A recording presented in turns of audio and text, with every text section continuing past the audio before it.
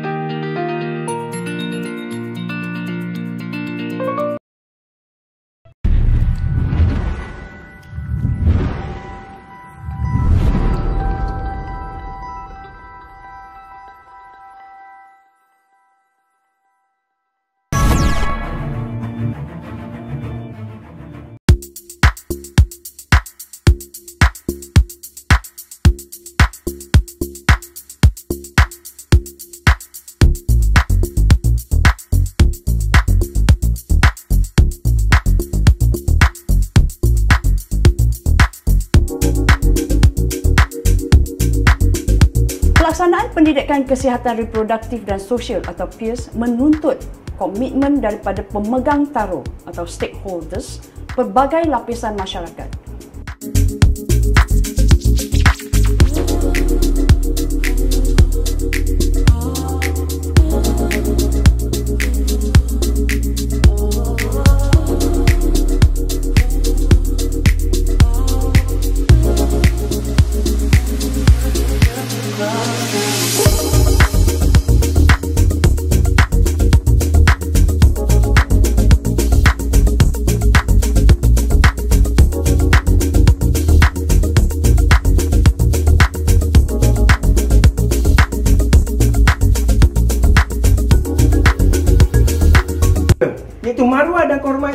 Dijaga, perlu dipupuk, perlu dipelihara.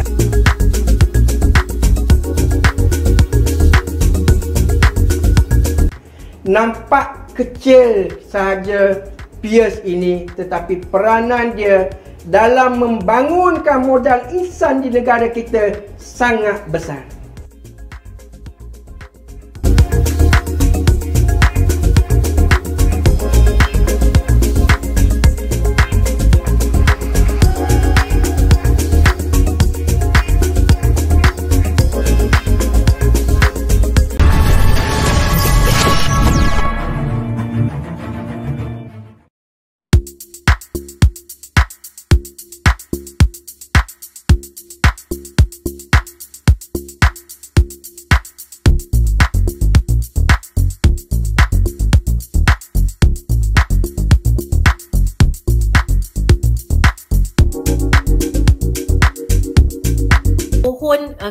Bapa ya sentiasa ambil tahu perkembangan anak dari semasa ke semasa. Know where your children are and what they are doing.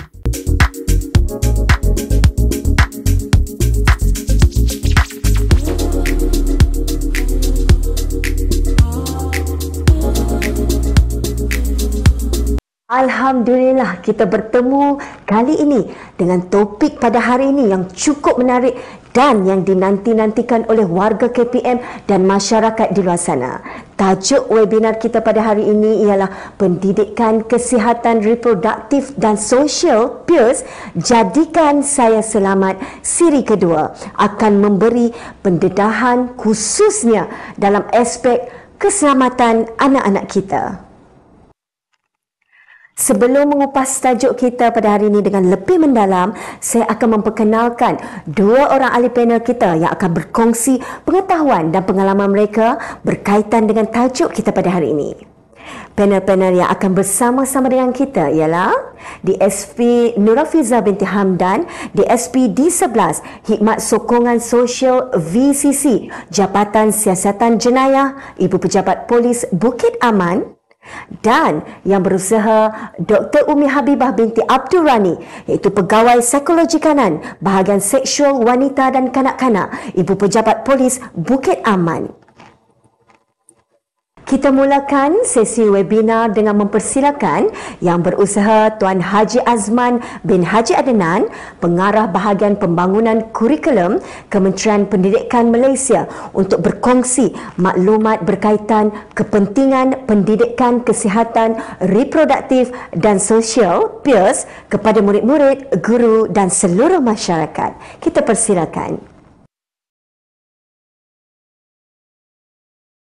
Assalamualaikum warahmatullahi taala wabarakatuh dan selamat sejahtera tuan-tuan dan puan-puan yang saya hormati, murid-murid yang dikasihi sekalian.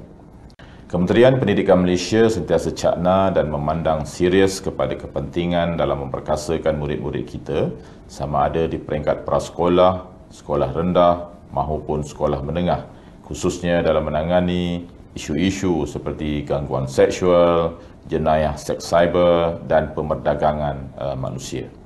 Perkara tersebut merupakan antara contoh topik yang diberikan fokus dalam pendidikan kesihatan reproduktif dan sosial ataupun PIRS dan PIRS ini diajar melalui kurikulum pendidikan kesihatan bermula daripada peringkat prasekolah hinggalah ke sekolah menengah.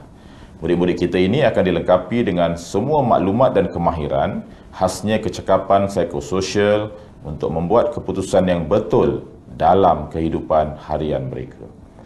Bahagian pembangunan kurikulum Kementerian Pendidikan Malaysia sentiasa melaksanakan proses pengajaran dan pembelajaran PIRS ini melalui pelbagai kaedah termasuklah mengadakan sesi wacana ilmu melalui webinar dari masa ke semasa.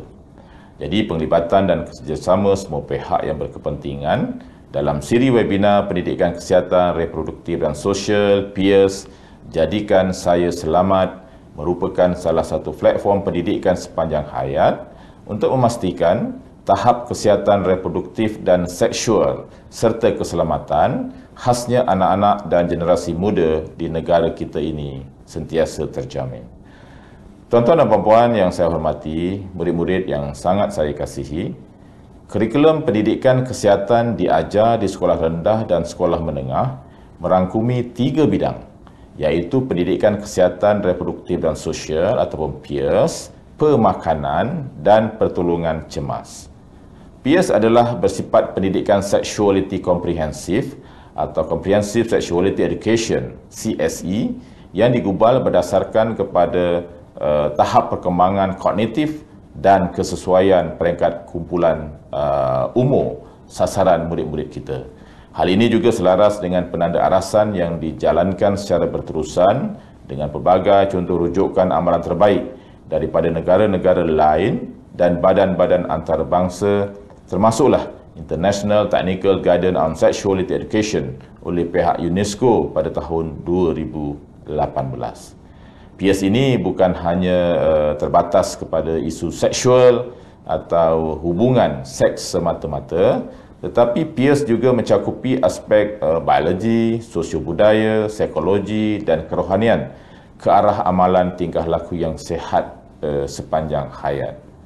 PS uh, memberikan uh, penekanan kepada pembentukan sikap, nilai dan kepercayaan uh, terhadap identiti seseorang dalam budaya uh, kita Perhubungan sesama insan selaras dengan aspek karamah insaniah melalui pembentukan adab, ahlak dan juga integriti.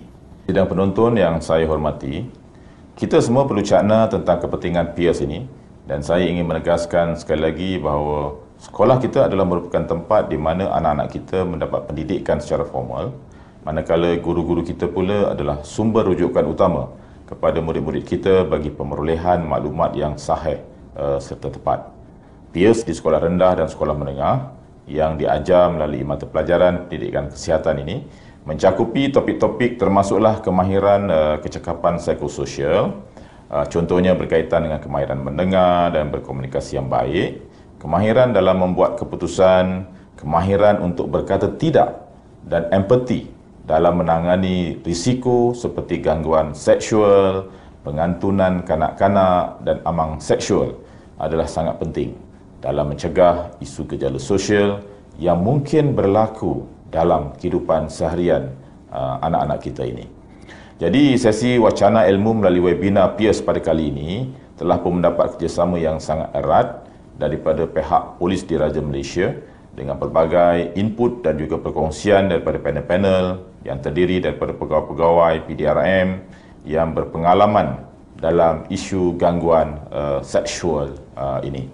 Sehubungan dengan itu, bahagian pembangunan kurikulum Kementerian Pendidikan Malaysia sangat berharap agar sesi webinar pada kali ini akan dapat meningkatkan tahap kefahaman para penonton termasuklah murid, guru, ibu bapa, penjaga dan juga masyarakat umum terhadap uh, kepentingan uh, PIAS ini. Kementerian Pendidikan Malaysia sebenarnya tidak bersendirian atau in silo dalam pelaksanaan PIAS ini. Uh, saya bagi pihak bahagian pembangunan uh, kurikulum Kementerian Pendidikan Malaysia ingin merakamkan setinggi-tinggi penghargaan dan ucapan terima kasih khususnya kepada PDRM atas kerjasama erat serta sokongan padu dalam memperkasakan PIAS ini. Kementerian Pendidikan Malaysia akan sentiasa bekerjasama dan saling menyokong antara kementerian, agensi kerajaan dan bukan kerajaan dalam mendidik serta menyediakan generasi muda Malaysia yang beradab, berakhlak dan berintegriti selaras dengan falsafah pendidikan kebangsaan. Sekian Wabillahi taufiq wal hidayah. Assalamualaikum warahmatullahi taala wabarakatuh. Baiklah Tuan Haji, terima kasih atas penerangan mengenai PIS itu tadi. Tuan-tuan dan puan-puan yang dihormati, daripada penerangan yang berusaha Tuan Haji Azman, maka kita perlu cakna tentang kepentingan PIS bersesuaian dengan tajuk webinar kita kali ini. Pierce, jadikan saya selamat siri kedua. Sebelum kita beralih ke segmen yang seterusnya, apa kata kita sama-sama menonton video yang telah disediakan? Sama-sama kita saksikan. Media sosial dan cabaran. Selamat ke aku daripada persahabatan melalui media sosial? Cabaran media sosial kesan media sosial? Bagaimanakah kita menanganinya? Hai. Kamu buat apa tu? Saya sedang mencari maklumat untuk tugasan buku skrap pendidikan kesihatan. Hmm, kena berhati-hati tu. Ada kalanya maklumat daripada internet tidak semestinya sahih. Bahaya kalau redahkan maklumat peribadi laman sosial. Penggunaan media sosial memberikan banyak kebaikan tetapi boleh juga memudaratkan. Bersama-sama kita ambil serius tentang hal ini. Mencegah itu lebih baik daripada mengubati.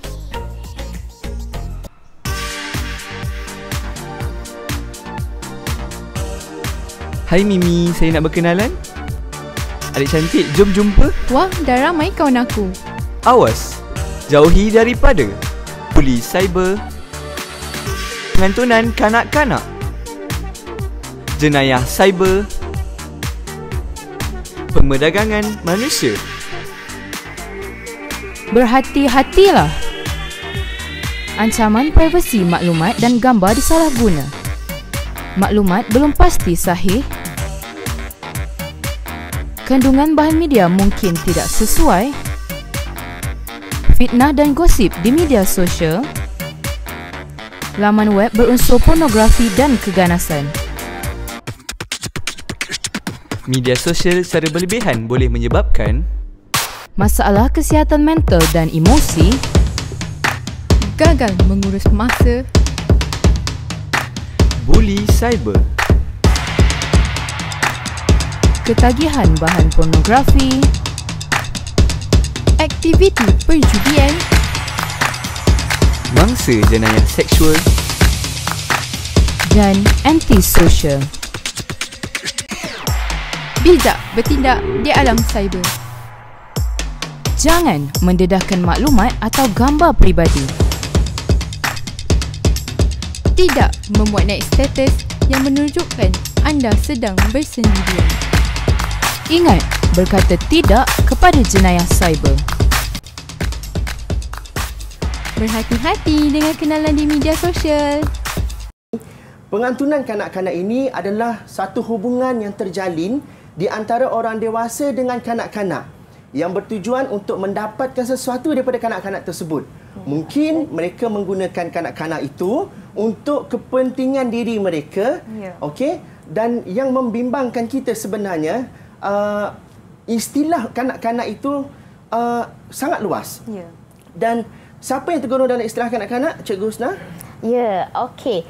Untuk uh, murid-murid semua, kita uh, kita perlu sedar bahawa kita ni anak-anak, kanak-kanak. Okey. Apa itu kanak-kanak ya? Di mana kanak-kanak ni kita istilahkan okey apabila umurnya 18 tahun ke bawah. Jadi kita semua ni anak-anak, kanak-kanak yang perlu kita jaga dan tahu apa yang boleh, apa yang tak boleh, apa itu kasih sayang dan apa itu kesempatan. Betul tu. Uh, kalau kita lihat apa yang membimbangkan kita sebenarnya adalah uh, kita lihat uh, kes yang telah dilaporkan pada awal tahun lepas menunjukkan sebanyak 1721 kes Hmm, yang melibatkan mangsa pedofilia. Betul. Nilai yang sangat besar. Ya. Nilai yang sangat besar. Dan kebanyakannya berlaku kepada anak-anak kita.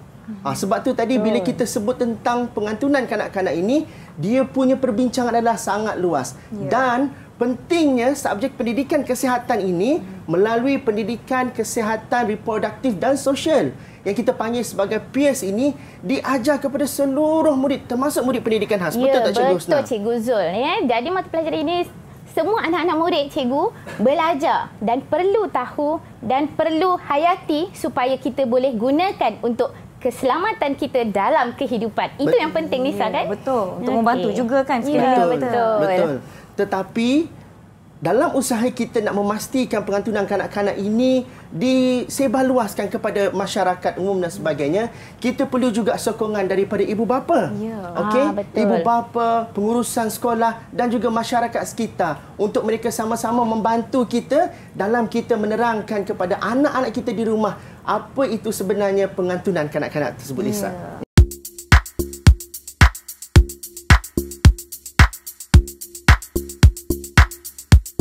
Sebentar tadi kita telah menonton video mengenai pengantunan kanak-kanak.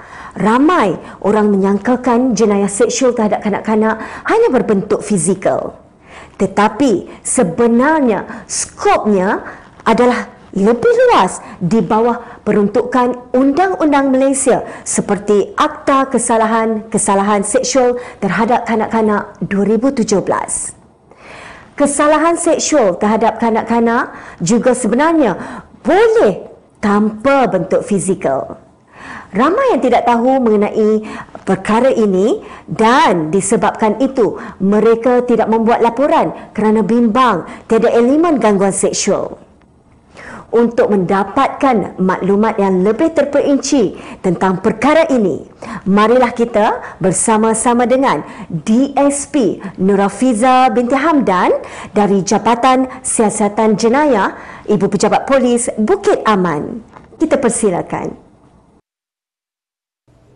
Bismillahirrahmanirrahim. Assalamualaikum warahmatullahi wabarakatuh dan selamat petang diucapkan kepada semua penonton webinar dan juga Cikgu Farah. Saya DSP Nurafiza binti Hamdan dari bahagian siasatan seksual wanita dan kanak-kanak di 11 Jabatan Siasatan Jenayah Polis Diraja Malaysia. Pada hari ini akan berkongsi dan memberi pendedahan kepada anda semua berkaitan dengan isu gangguan seksual.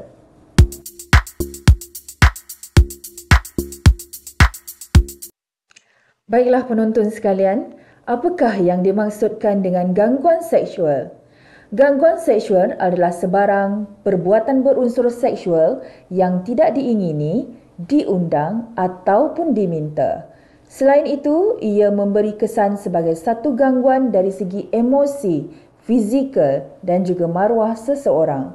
malah menyebabkan seseorang yang waras akan mudah berasa tersinggung, terhina dan ataupun terugut dan ianya boleh terjadi kepada sesiapa sahaja secara berdepan ataupun online. Baiklah hadirin sekalian, seterusnya adalah terdapat beberapa jenis gangguan seksual iaitu melibatkan gangguan secara lisan, gangguan secara isyarat atau bukan lisan, gangguan secara visual, gangguan secara fizikal dan gangguan secara psikologikal. Baiklah penonton sekalian, seterusnya saya ingin memberikan penerangan berkaitan dengan jenis-jenis gangguan seksual. Gangguan seksual yang pertama adalah berkaitan secara lisan iaitu menggunakan kata-kata atau komen yang tidak sewajarnya kepada individu yang lain. Contohnya kata-kata gurauan atau usikan yang berbentuk seksual. Selain itu, bunyi dan soalan-soalan yang berbentuk ancaman dan juga cadangan berkaitan dengan seksual. Seterusnya adalah gangguan secara isyarat ataupun bukan lisan. Ianya melibatkan seseorang yang menggunakan sisi pandangan atau kerlingan yang membayangkan sesuatu niat atau keinginan seksual. Contohnya memegang makanan dengan cara menggoda atau isyarat tangan yang membayangkan kepada perlakuan seks dan tingkah laku mengurat atau menggoda secara berterusan kepada individu yang lain. Seterusnya yang ketiga adalah melibatkan gangguan secara visual di mana seseorang menunjukkan bahan-bahan lucah, contohnya melukis gambar lucah, menulis surat berunsur seksual atau mendedahkan bahagian badan yang sulit dan tidak sepatutnya didedahkan kepada orang lain. Seterusnya adalah gangguan secara fizikal yang mana perlakuan melibatkan sentuhan yang tidak diingini, Contohnya perlakuan seseorang yang tidak disenangi oleh individu lain seperti menepuk bahu, menggesel badan, memeluk, mencium dan juga serangan secara seksual. Dan terakhir adalah melibatkan gangguan secara psikologi yang mana seseorang itu mengulangi jemputan sosial yang telah tidak diterima. Contohnya perkenalan melalui media sosial yang bermula hanya chatting dan akhirnya diajak berjumpa.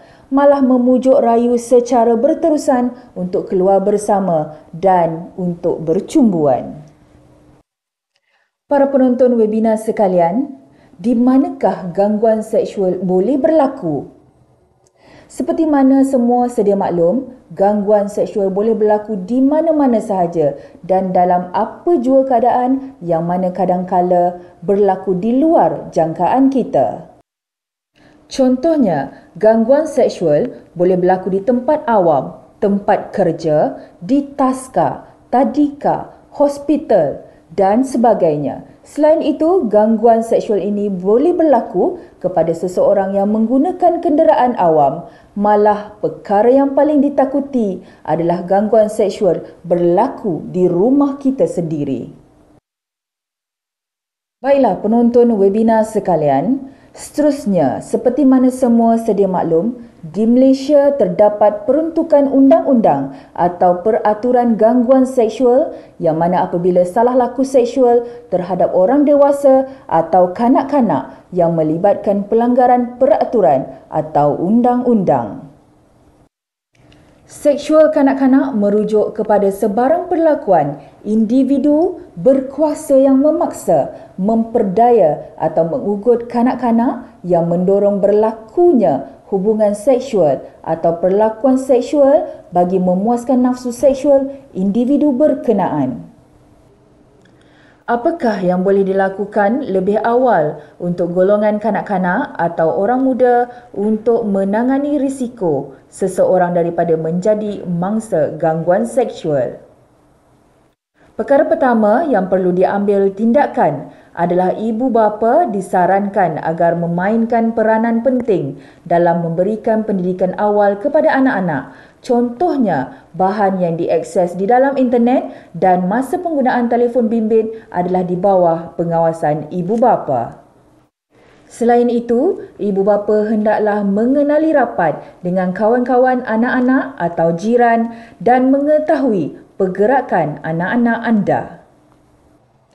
Bagi kanak-kanak atau yang meningkat usia remaja atau sesiapa sahaja, jangan mudah mempercayai orang yang baru sahaja anda kenali yang mana perkenalan melalui media sosial contohnya jangan sesekali mudah untuk bersetuju keluar bersua muka atau mengikut atau membawa pulang seseorang yang anda tidak kenali di rumah anda. Seterusnya, anda juga dinasihatkan tidak berkongsi atau meletakkan gambar yang seksi atau dilihat seperti menggoda seseorang. Selain itu, video atau voice atau apa sahaja material yang mendedahkan tubuh anda tanpa pakaian. Oleh itu, peringatan kepada semua penonton webinar sekiranya di kalangan anda terlibat dalam gangguan seksual, pastikan anda mengambil tindakan segera seperti berikut iaitu membuat laporan polis dengan segera. Jangan bersihkan diri, mengumpul atau merekod sebanyak mungkin maklumat atau keterangan mengenai penyerang. Contohnya, deskripsi wajah. Camkan wajah penyerang anda dan ingat tarikh-tarikh penting, masa dan juga tempat kejadian dengan jelas.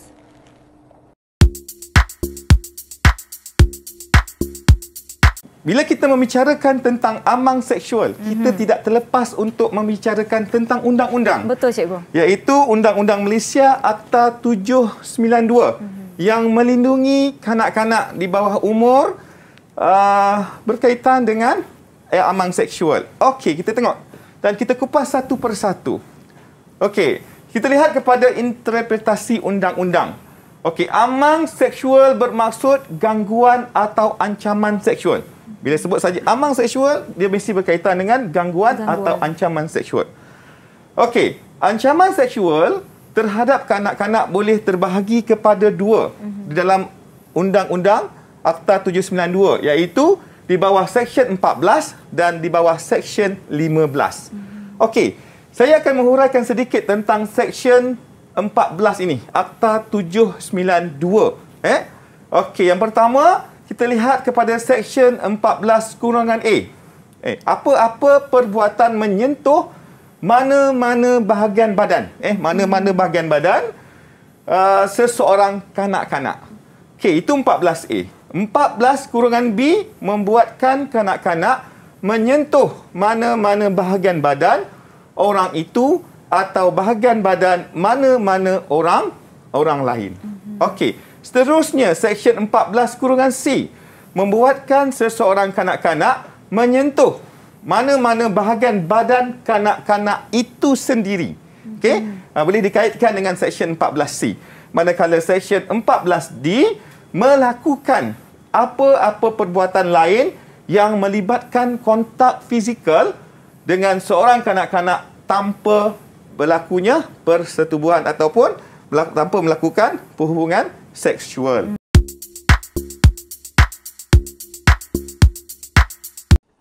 Kita telah mendengar perkongsian daripada DSP Nurafiza sebentar tadi dari sudut pandangan Polis Diraja Malaysia.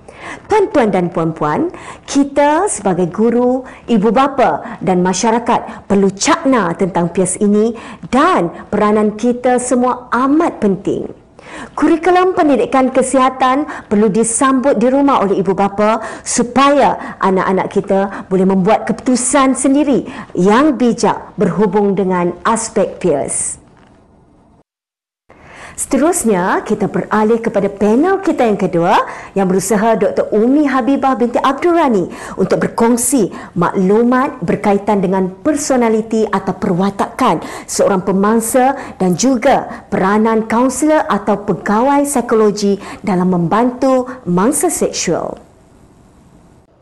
Bismillahirrahmanirrahim. Assalamualaikum warahmatullahi wabarakatuh dan salam sejahtera.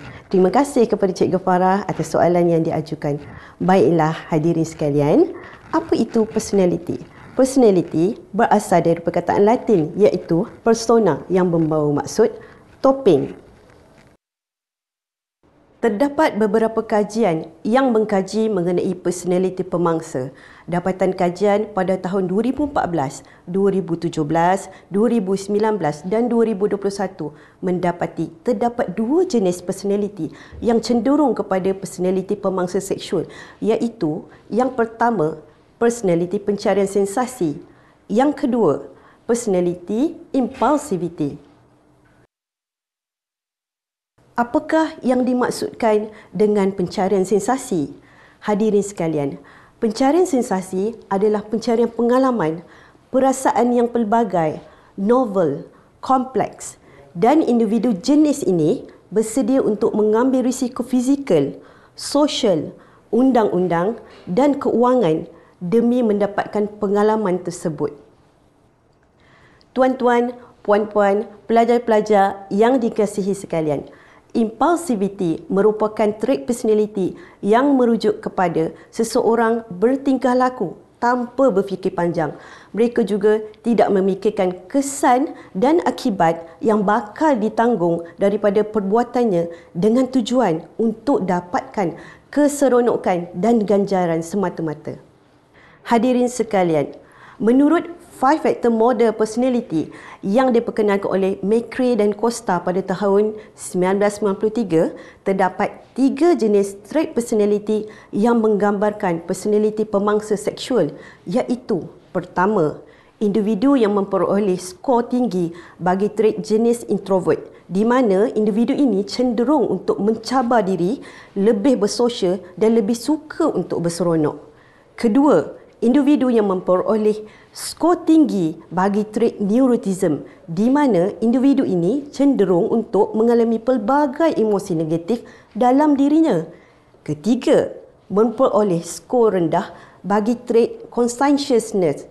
Individu ini dikaitkan dengan sikap cuai, tidak mempunyai kesedaran kendiri dan juga kurang kawalan diri. Hadirin sekalian, mari kita dalami apakah tanda-tanda penderaan yang boleh dikesan pada mangsa gangguan seksual? Pertama, tingkah laku. Mangsa menunjukkan tingkah laku agak agresif, terlibat dalam penyalahgunaan bahan, mengalami masalah akademik serta terlibat dengan tingkah laku antisosial. Kedua, tanda-tanda psikologikal. Perasaan menyalahkan diri, rasa berdosa, takut, bimbang dan murung merupakan sikap yang dipamerkan oleh mangsa. Ketiga, mengalami masalah interpersonal dan sosial. Mangsa merasakan dia dikhianati, mengalami masalah kesukaran dalam perhubungan dan cenderung menjadi mangsa semula. Hadirin sekalian, tanda-tanda penderaan pada fizikal mangsa juga dapat dilihat dengan berlakunya kehamilan dalam usia kanak-kanak dan remaja menghadapi penyakit kelamin dan masalah neurologi terutama berkaitan seksualiti. Tuan-tuan, puan-puan serta pelajar-pelajar yang dihormati sekalian, sebagai pegawai psikologi yang bertugas di bahagian siasatan seksual wanita dan kanak-kanak di 11 Jabatan Siasatan Jenayah PDRM, peranan kami yang pertama memberi sokongan psikologi dan khidmat kaunseling mengikut keperluan kepada mangsa, saksi, ahli keluarga yang terlibat dalam kes gangguan seksual, melaksanakan terapi teknik dan pendekatan yang bersesuaian kepada klien mengikut keperluan. Kedua, sekiranya terdapat keperluan untuk merujuk mangsa kepada lain-lain agensi, pegawai psikologi akan mengambil tindakan dengan membuat surat rujuk keluar. Selain itu, pegawai psikologi terlibat dalam program-program outreach, kempen-kempen kesedaran bagi menyebarluas kefahaman dan menyampaikan maklumat mengenai gangguan seksual seterusnya menimbulkan kesedaran kepada masyarakat. Malah, kami pegawai psikologi di D11 turut berkolaborasi menjalankan kajian dan terlibat dalam penulisan akademik bersama universiti dan agensi lain dalam usaha membantu memberikan maklumat kepada masyarakat mengenai gangguan seksual yang berlaku di Malaysia tuan-tuan, puan-puan pelajar-pelajar yang dikasihi sekalian. Sebagai ibu bapa dan guru-guru, sokongan sosial dan psikologi amat penting kepada mangsa. Elakkan meletak kesalahan sepenuhnya kepada mangsa atau dalam bahasa Inggeris dipanggil victim blaming.